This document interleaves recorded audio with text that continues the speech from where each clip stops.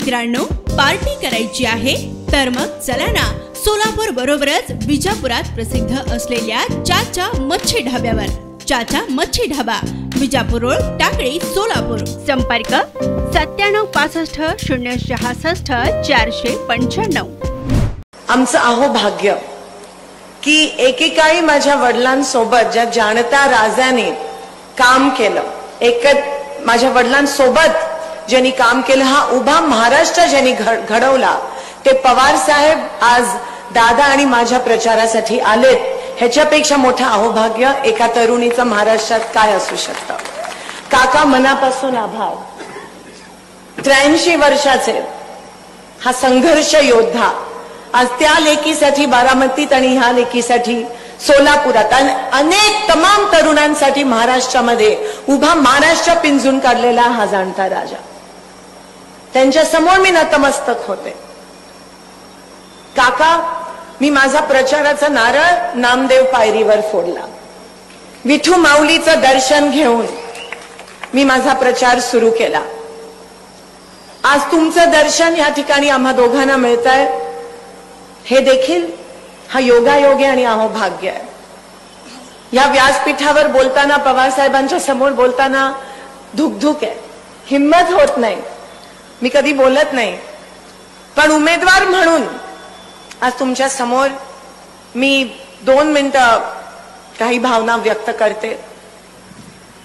ही लोकसभा लढायची उमेदवारी जेव्हा मला मिळाली तेव्हा मी मनापासून आपल्या सगळ्यांचे आभार मानले.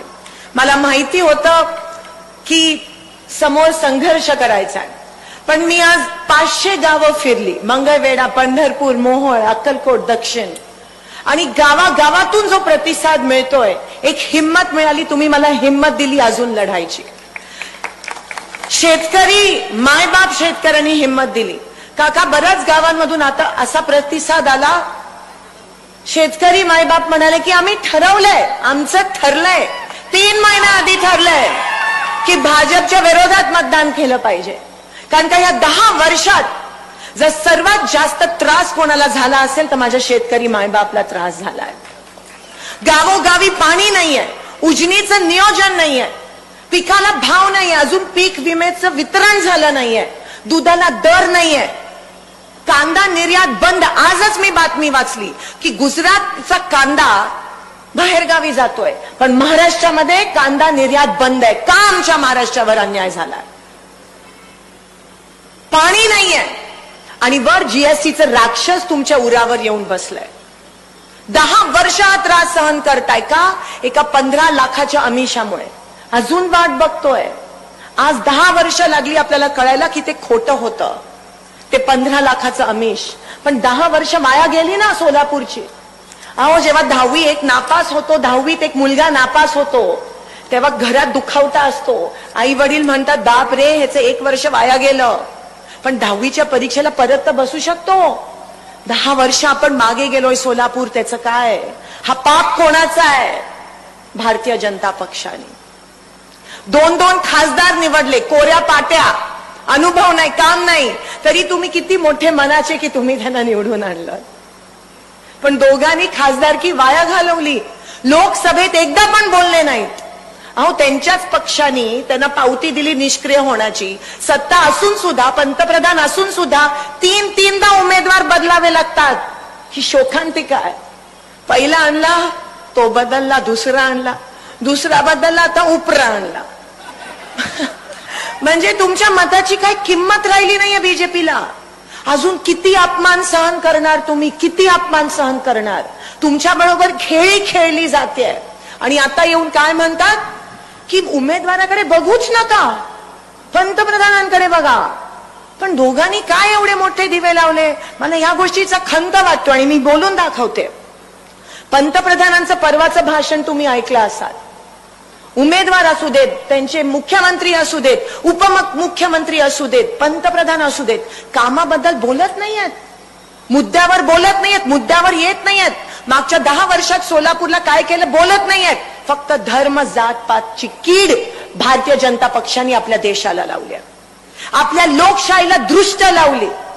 कीड लावली ह्या लोकांनी. पंतप्रधान हा देशाला सांभाळणारा पंतप्रधान असायला पाहिजे. तो कोणता पक्षाचा नसतो तो सगळ्यांचा असतो. सगळ्यांना देश एकत्र ठेवण्याचं काम पंतप्रधानांचं असतं. पण परवा काय केलं?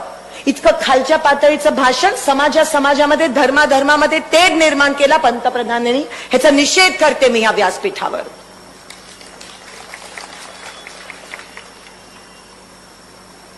ह्या लोकांनी नवीन काहीतरी फॅड चालू केलाय. ठीक आहे आम्ही स्वागत करतो मंदिर बांधलं. पण रामाच्या नावावर देव धर्माच्या नावावर तुम्ही मतदान मागता? तुम्ही देवाचा वापर मतदानासाठी करता? अहो मतदान कामावर झालं पाहिजे. तरच लोकशाही जी जिवंत राहील. आणि का हो ह्यांच्या सगळ्यांच्या नारेबाजीत आपल्या विठू माऊलीला विसरू नका. कधीतरी विठू माऊलीचा जय जयकार करा. कधीतरी त्या विठू माऊली बरोबर सेल्फी घ्या. मंदिर बांधलं खरं पण मग अरबी समुद्रातलं शिवाजी महाराजांचा पुतळा अजून बांधला का नाहीये? विचारा आहे प्रश्न. कशाला आमच्या सोलापुरात येऊन आमची एकी बिघडवता? काय अधिकार आहे तुम्हाला? या पोलिसांना विचारा. कधी भेदभाव करत नाही. पोलिसांमध्ये सगळ्या धर्माच्या जातीचे लोक असतात. सगळे असतात. ते कधी भेदभाव करत नाही पण त्यांचं वाईट वाटतं. जे राज्यकर्ते बिघडवतात ना ते ते सांभाळत असतात. त्यांना मी सलाम करते. कधीच आपल्या देशामध्ये भेद धर्मावर जातीवर मतदान झालं नाहीये. कधीच झालं नव्हतं. तुम्ही सगळे सर्वधर्म समभाव आणि कामाला मतदान करणारी लोक आहात आणि म्हणून आज आपलं देश एवढं पुढे गेलाय. पण ह्या भाजपनी पाप करून आज आपला देश मागे घेण्याचा प्रयत्न करतायत. हा महाराष्ट्र हा जिजाऊचा महाराष्ट्र आहे अहिल्याबाईंचा महाराष्ट्र आहे हा रमाईचा महाराष्ट्र आहे जिजाऊचा महाराष्ट्र आहे सावित्रीबाईंचा महाराष्ट्र आहे. आम्ही मगाशी जानकर साहेब म्हणाले मी महिला आहे तरी लढत नाहीये मी महिला आहे म्हणून लढते आम्हाला अभिमान आहे या सगळ्या लेखींचा त्यांनी जो संघर्ष केला तो आम्ही व्यर्थ नाही जाऊ देणार. आणि म्हणून ही लढाई ही आमची एकट्यांची लढाई नाहीये. ही आपल्या सगळ्यांची लढाई आहे. जर संविधान बदलण्याचं हिंमत ह्यांच्यात असेल तर आपल्याला सगळ्यांना मिळून दाखवायला पाहिजे की लोकशाहीची ताकद काय आहे. बाबासाहेबांनी दिलेलं संविधान ह्यांचे खासदार जाहीरपणे बोलतायत की आम्हाला राज्यसभेमध्ये बहुमत पाहिजे कारण का आम्हाला संविधान बदलायचं आहे संविधान बदललं तर आरक्षण टिकणार नाही. संविधान बदललं तर लोकशाही टिकणार नाही. संविधान बदललं तर माझा शेतकरी मायबाप टिकणार नाही. शेतकरी मायबापांचा अंत हा भा हा भाज हे भाजप सरकार बघत आहे. आणि म्हणून ही लढाई आपल्या सगळ्यांची लढाई आहे. ही लढाई लोकशाहीसाठी लढाई आहे. ही लढाई त्या शेतकरीसाठी आहे. ही लढाई त्या वन वन फिरणाऱ्या युवकासाठी आहे ज्यांना दोन कोटी नोकऱ्या मिळणार होत्या. काय झालं? दोन पण नोकरी नोकरी लोकांना मुलांना काम मिळालं नाही. आणि खाजगीकरणाकडे ह्यांची वाटचाल खाजगीकरण पण आरक्षण रद्द करण्याचं षडयंत्र आहे जे बीजेपी करत आहे. काय केलं काय ह्यांनी मागच्या दहा वर्षात? फक्त फोडाफोडीचं राजकारण आणि खरेदी विक्री आमदारांची तेवढंच? रात्रीच सगळं करतात. दादा तुम्ही म्हणालात. कोणीतरी म्हणाल की विजय झालाय पण रात्र वैराची आहे. गाफील राहू नका. कारण ह्यांचे खेळ रात्री चालत असतात. आणि म्हणून आज दहा दिवस आहेत. सतर्क राहा डोळ्यात पाणी तेल टाकून आपण ह्या ठिकाणी हे इलेक्शन लढलं पाहिजे. आज दोन वर्ष झाले की सोलापूर महानगरपालिकेमध्ये इलेक्शन नाही आहेत दोन वर्ष झाले तुमच्या ग्रामपंचायत आणि जिल्हा परिषदचे इलेक्शन नाहीये. कधी का कोणी यांना विचारत नाही आणि म्हणून पाहणं उजनीचं नियोजन नाहीये. उजनीच्या नियोजनाच्या बैठकीला नेहमी विरोधी पक्षाच्या आमदारांना बोलवलं जातं. काका सहा एक वर्ष झालंय उजनीचं. आवर्तनाची बैठकच झाली नाहीये म्हणून उजनीचं नियोजन नाहीये. म्हणून आपल्या मंगळवेढा आणि पंढरपूरच्या शेतकऱ्यांना पाणी पोचू नाही शकलं. वाईट वाटतं. आज टँकर पण पोचवत नाहीये प्रशासन. आमचा ही निवडणूक जरी आमची असली तरी विजय तुमचा झाला पाहिजे. लोकशाहीचा विजय झाला पाहिजे. आणि मी तुम्हाला शब्द देते. मी तुम्हाला शब्द देते. आणि दादांची परवानगी घेऊन मी हा शब्द देते. आम्ही दोघं जर विजयी झालो आणि निवडणूक जर तुम्ही जिंकली तर पहिला आवाज जो लोकसभेमध्ये जाईल तो माझ्या शेतकऱ्यांसाठी असेल आणि आरक्षणाचा आवाज जाईल. का लाठीचार्ज केला. का लाठीचार्ज केला. एक दिवसाचं आमचं अधिवेशन घेतलं नाटक केलं आणि आमचे माईकच बंद पाडले. फसवणीस.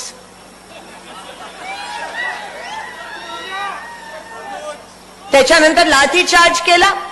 त्याच्यानंतर एसआयटी लावली. आम्ही मागणी केली एसआयटी रद्द केली पाहिजे ते. गुन्हेगार ते आंदोलकांवर गुन्हे पण दाखल केले.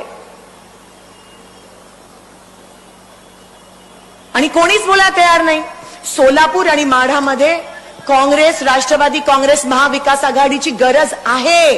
लोकसभेमध्ये महाविकास आघाडीच्या खासदारांची गरज आहे? कारण का जर बीजेपी गेली तर तुमच्या बाजूनी बोलणारच कोण राहणार नाही? कारण का तिथे हुकुमशाही आहे. बोलले तर ईडी अभिजित दादा संघर्ष करा हिरो बनाल. बघा मागे लागलेत.